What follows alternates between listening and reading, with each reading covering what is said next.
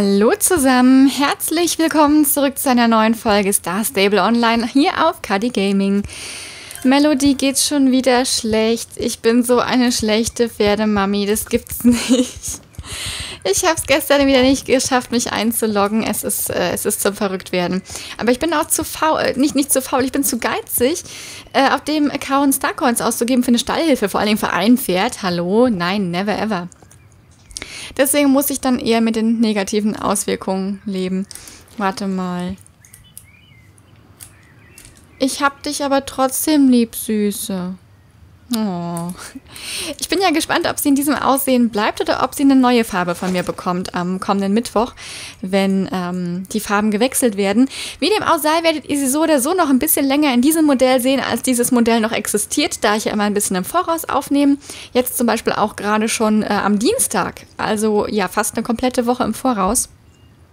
Und entsprechend werdet ihr dieses Modell hier noch ein bisschen länger auf dem Kanal zu sehen bekommen, ähm, als es eigentlich da ist. Aber vielleicht bringe ich direkt am Mittwoch dann ein Umändern, wenn ich sie denn umändere. Muss ich mal noch gucken. So, Frau Holsworth, wir hatten ja hier zwei Aufgaben offen. Einmal die Fugenmasse und einmal hatten wir Kuchen in einen Besen. An die Quest kann ich mich gar nicht mehr erinnern. Wir machen erstmal das mit der Fugenmasse. Wir kochen also Fugenmasse, um die Brücke zwischen dem Nilmers Hochland und der Erntefeldprovinz zu reparieren? Es wäre ja schon toll, wenn man wieder zum Jorvikstall reisen könnte. Ich habe hier ein Rezept meiner Großmutter, mit dem man wunderbare Fugenmasse machen kann. In meiner Familie wurde es als Fugenmasse und Brotaufstrich benutzt. Es schmeckt einfach zu gut. Es klebt allerdings sehr stark. Dass sich um ein Familienrezept handelt, darfst du niemandem davon erzählen. Wir brauchen einige Zutaten für die Masse. Ich habe, ein paar, äh, ich habe ein paar der Zutaten zu Hause. Den Rest finden wir draußen in der Natur. Die Pflanzen, die wir benötigen, wachsen alle in Moorland. Okay. Dann sammeln wir die ein, würde ich sagen. Wir können aber auch noch jedes andere annehmen. Wie man einen Kuchen in einen Besen verwandelt. Hallo Tiffany. Warum ich so sauer reinschaue? Ja, du, jemand hat meinen frisch gebackenen Kuchen gestohlen. Also so etwas habe ich noch nicht erlebt. Das war sicher diese Ten oder ihre Freundin Loretta. Warum ich das glaube? Ja, vor ein paar Tagen war Ten hier und fragte mich, ob sie ein Stück Kuchen haben könnte. Ich sagte, dass sie gerne ein Stück haben kann und habe sie gebeten, ob sie vorher nicht die Post für mich holen kann. Ich bin doch auch nicht mehr die schnellste heutzutage. Kannst du dir vorstellen, was sie da gemacht hat? Sie hat die Nase gerümpft und gesagt, dass sie den ganzen Kuchen haben will und ich froh sein solle, wenn überhaupt jemand meinen furchtbaren Kuchen essen möchte. Da habe ich den Besen genommen und dieses freche Mädchen verjagt. Schneller als der Blitz war sie wieder beim Moorlandstall. Ich war in meinem ganzen Leben noch nie so verärgert, Tiffany, und normalerweise werde ich nicht so schnell ärgerlich. Kannst du zu Ten reiten und fragen, ob sie meinen Kuchen gestohlen hat? Danke, Tiffany. Das ist sehr lieb von dir. Wenn ich sie frage, reg ich mich nur wieder auf, und das möchte ich lieber vermeiden. Danke für deine Hilfe, Tiffany. Oh, die arme Frau Holsworth. Oh, guck mal, fliegende Blumen kommen also in die Fugenmasse. Das wirkt wahrscheinlich den Vögeln vor, entgegen. Oh, die fliegen nicht mehr. Aber schöne Blümchen. Sahen die damals auch schon so aus? Spring Flowers.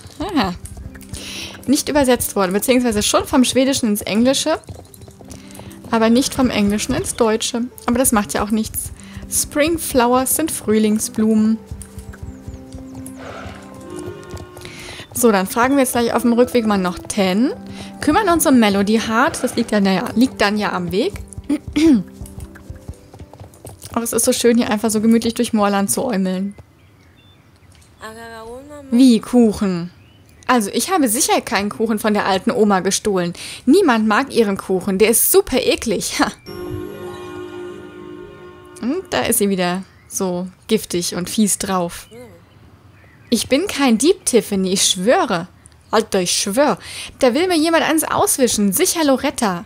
Warum ich glaube, dass es Loretta ist? Naja, also vor ein paar Tagen habe ich meine super coole Uhr bekommen, die ich bei J-Bay gekauft habe. Super cool, du verstehst, oder?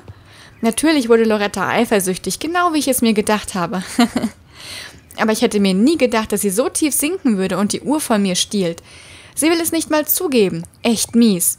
Und jetzt hat sie auch noch den Kuchen von Frau Holsworth gestohlen, nur weil sie eifersüchtig auf mich ist. Du sprichst mit Loretta, sagst du? Okay, viel Glück oder wie auch immer.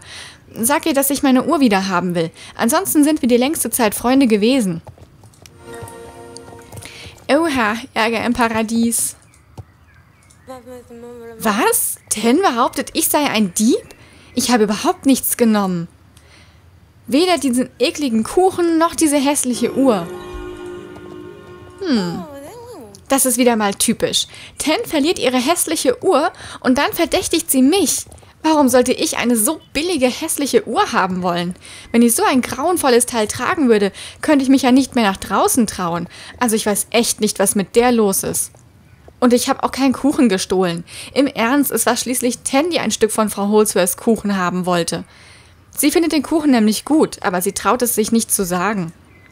Aber weil sie nichts bekommen hat, sagt sie nun, dass er eklig sei. Kapierst du? Ten ist so irre. Jetzt bekommt sie auf alle Fälle keinen Kuchen mehr von Frau Holsworth. Wer dann die Uhr gestohlen hat? Ach, keine Ahnung. Du musst aber auf jeden Fall Jenna sagen, dass ich es nicht war. Im Ernst. Ten erzählt sonst allen, dass ich ein Dieb bin und das kann ich echt nicht gebrauchen. Alle kennen Jenna und wenn sie sagt, dass ich unschuldig bin, dann glauben die Leute ihr das auch. Sagst du ihr das bitte, Tiffany? Danke, Tiffany, super. Ach, das war das, was so ein bisschen, ähm, was, was diese Quest mit dem, mit dem äh, Hammer auch, ne? So eine Begleitquest quasi, was alles so zusammengehörte. Ein neues Pferd für Maya Borg, wir haben so viel, aber wir machen jetzt erstmal das hier. Hallo Tiffany, wie kann ich dir helfen? Aha, Loretta lässt ausrichten, dass sie weder Frau Holsworths Kuchen noch Tens Uhr gestohlen hat. Ich wusste nicht mal, dass diese Sachen verschwunden waren. Wirklich seltsam, findest du nicht auch, Tiffany? Da geht etwas vor sich, das mir gar nicht gefällt. Tiffany, komm zurück, wenn du noch mehr von seltsam, wenn du noch von mehr, wenn du noch von mehr seltsamen Dingen hier in Moorland erfährst. Das machen wir auf jeden Fall. Das mit dem Pferd bei Maya machen wir jetzt nicht. Wir machen jetzt erstmal weiter mit dem Kuchen bei Frau, äh, nicht Kuchen, bei dem, ach Gott, ich wollte doch Melody noch versorgen. Wir machen jetzt auf jeden Fall fix noch weiter mit der Fugenmasse bei Frau Holsworth. Ich glaube, das bei Josh war auch noch eine Quest, die dazugehörte. Gut, Tiffany, das wird super. Ich fange dann mal an. Wie das duftet. Das ist das Gebräu, das gerade in meiner Küche köchelt. Jetzt brauchen wir nur noch ein paar Zutaten, dann sind wir fertig. Zuerst brauche ich eine Tonne mit Hafer. Ich brauche nicht alles auf einmal, aber es ist eine große Brücke. Also glaube ich, dass wir recht viel Fugenmasse brauchen. Im Moorlandstall gibt es massenhaft Hafer und Thomas hat gesagt, dass ich so viel haben kann, wie ich will. Reite hin und hole mir eine Tonne mit Hafer. Komm zu mir, wenn du den Hafer hast. Viel Glück! Natürlich, das machen wir doch direkt. So, dann werde ich mich jetzt aber wirklich erstmal um meine arme kleine Melody kümmern. Heieieiei, armes Tier hier wird einfach nicht versorgt. Und dann auch noch gegens Tor gesetzt, also ganz ehrlich. Katastrophe, was tue ich hier nur? So, einmal absitzen. Oh, jetzt ist sie erstmal sauber gemacht. Arme kleine Schnecke. Oh, ich muss auch dringend noch die restlichen Halloween-Sachen ähm, mit ihr sammeln. Ich will unbedingt noch diese coole, zerrissene Satteldecke haben. Die hat mir echt super gut gefallen. Das brauche ich, oh, da, da brauche ich noch einiges von. So, Conditions fulfilled. Warum ist das teilweise auf Englisch? I don't get it. Gut, ich rede ja auch manchmal schon mal auf Englisch, wie gerade zum Beispiel. Das färbt so ein bisschen ab. Ich habe das letztens schon mal erzählt in der Folge auf Sepp. Äh, ich habe ja viel mit, mit der Sandy zu tun, von Nick Roll bzw. Sandy Light. Und ähm, die redet auch oft mit englischen Begriffen. Und ähm, irgendwie, man gewöhnt sich das dann so ein bisschen auch an, finde ich. Sehr gut, Tiffany. Jetzt haben wir ausreichend Hafer. Jetzt ist der Hafer gut eingekocht und es riecht schon richtig gut. Nun ist es an der Zeit, die wichtigste Zutat hinzuzufügen, die Klebewurzel. Ohne die Wurzel würde die Masse nicht halten. Klebewurzel ist hier in Moorland sehr verbreitet. Es sollte also nicht schwer für dich sein, sie aufzutreiben. Vor allem die Wurzel ist wichtig und nicht die Pflanze an sich. Die Wurzel kann tief in der Erde sitzen, sei also vorsichtig, dass sie nicht abreißt. Falls die Wurzel doch abreißt, musst du eine neue suchen. Komm zu mir, wenn du genügend gesammelt hast, sodass wir mit der Fugenmasse weitermachen können.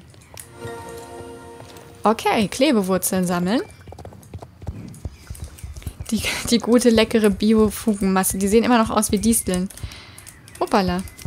Funktioniert das jetzt hier, dass ich automatisch absteige? Ach, ich muss gar nicht absteigen. Ich kann vom Pferd ausgraben. Ja, das ist, ähm... Das ist praktisch. So. Noch eine Wurzel. Da ist auch noch eine. So.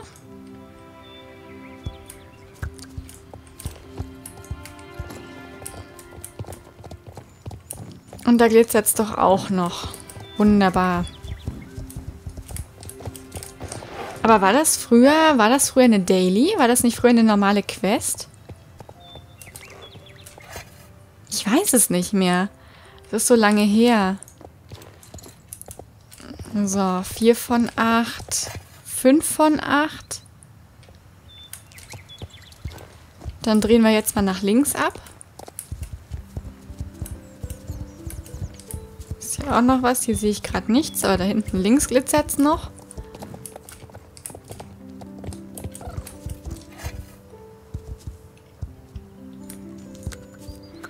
So.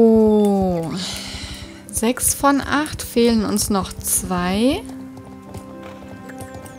Wahrscheinlich wäre ich da hinten schneller gewesen, aber egal.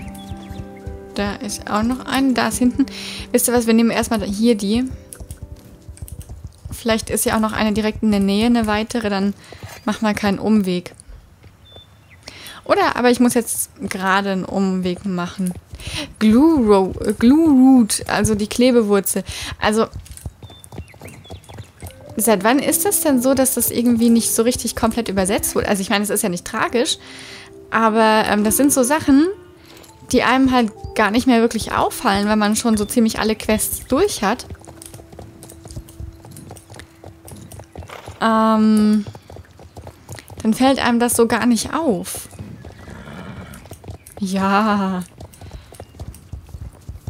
Gute kleine Melodie. Feine. So. Nicht schlecht, Tiffany. Das wird die Fugenmasse perfekt machen. Warte, ich mische alles zusammen. Super, perfekt. Das wird die Brücke fest zusammenhalten. Und es reicht auch noch für ein Butterbrot. Hier ist ein Fass mit Fugenmasse, das du für die Brücke benutzen kannst, Tiffany. Komm morgen wieder, wenn du mehr brauchst. Falls du nicht länger warten willst, kannst du auch fertige Fugenmasse bei Billy Bulldozer auf der GED-Baustelle kaufen. Lass dir aber gesagt sein, dass diese Fugenmasse bestimmt nicht biologisch ist. Ich esse jetzt erstmal mein Butterbrot. Nom, nom, nom. Okay, use Calking here. Interessant. Also wenn es jetzt auf Schwedisch wäre, das hätte ich ja noch verstanden, ne? Weil das Spiel ist ja ursprünglich, ähm, kommt es ja aus Schweden. Aber ich finde es interessant, dass es in Deutschland in der englischen Übersetzung ist, also auch nicht in der Originalfassung, sondern in der englischen Fassung. Das ist echt interessant. Lustig. Ja, ich überlege übrigens auch immer noch, ob ich mir ähm, ein, ein, ein, ein, Pony jetzt schon kaufe. Ähm, da bin ich noch ein bisschen unentschlossen. Denn ich wollte ja eben Melody Heart noch nicht so richtig krass leveln. Von wem war denn der Schatten da eben?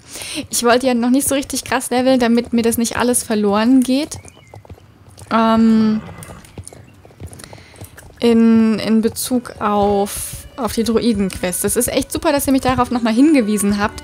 Ansonsten hätte ich jetzt weiterhin fleißig jeden Tag die Rennen gemacht und dann wäre sie jetzt wahrscheinlich schon Level 10 oder so und hätte nur noch 5 Level vor sich. Also sehr, sehr gut, dass ihr mich da nochmal darauf hingewiesen habt. Sehr praktisch. Dankeschön an der Stelle nochmal. Um, ja, und ich überlege jetzt, ob ich mir einen Pony kaufen soll oder ob ich erstmal auf was anderes spare. Bin ich noch so ein bisschen unentschlossen. So, der letzte Teil der Reparatur. Das hat ja prima geklappt. Es bleibt nur noch ein kleiner Teil übrig, dann sind wir fertig. Los, Tiffany, zusammen schaffen wir das. Schon bald kannst du über die Brücke durch das Grüntal an der Küste entlang nach Jalaheim und zum Jorvikstall reiten. Zuerst müssen wir die Stelle markieren, an der das Fundament stehen soll. Nimm diese Stöcke und stecke sie dort in den Boden, wo das Fundament später sein soll. Dann erst können wir uns um die Drähte kümmern, die die Brücke oben halten. Zurzeit ist alles noch zu instabil. Wenn das Fundament fertig ist, können wir die Drähte zwischen den Pfeilen und dem Fundament spannen. Okay, ja, das können wir auch noch machen. Mm, ich stelle mal gerade Melodie hier ab. Mich haben jetzt übrigens schon einige gefragt, ob ich mir das Führen noch kaufen werde auf diesem Account. Tatsächlich weiß ich nicht, ob ich das mache. Weil das Führen brauche ich ja eigentlich gar nicht so mega oft. Vielleicht schon noch irgendwann, weil ich ja, wenn ich mir hier ein Pferd kaufe,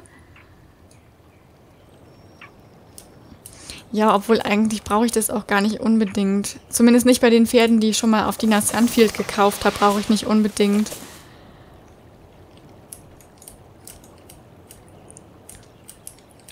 Brauche ich nicht unbedingt nochmal ein, ein Kaufvideo in dem Sinn zu machen. Seht mal, wir sind schon relativ weit mit der Brücke mittlerweile. Sind schon ganz gut vorangekommen, vorwärts gekommen. Nicht schlecht, nicht schlecht. So, zack. Gut, dann können wir jetzt hinten die Quest noch abgeben bei ihm. Ähm, dass wir hier diese kleinen Stöcke platziert haben. Das machen wir jetzt noch. Und dann wird das doch hier langsam aber sicher alles. So. Sehr gut. Wir fangen mit dem Fundament an. Ja, Allerdings nicht mehr heute. Oh, das sieht aber auch anders aus als früher, oder? Oder sah das früher auch schon so aus? Das weiß ich gar nicht mehr. Boah, da bin ich jetzt ein bisschen überfragt. Ich verabschiede mich auf jeden Fall für heute von euch bedanke mich ganz, ganz herzlich fürs Zuschauen. Ihr müsst nicht lange warten, denn morgen kommt ja schon die nächste Folge Star Stable Online hier auf Kadi Gaming. Ich würde mich natürlich über einen Kommentar und ein Like freuen, wenn euch die Folge gefallen hat. Und ja, macht's gut. Bis morgen. Tschüss. Bye.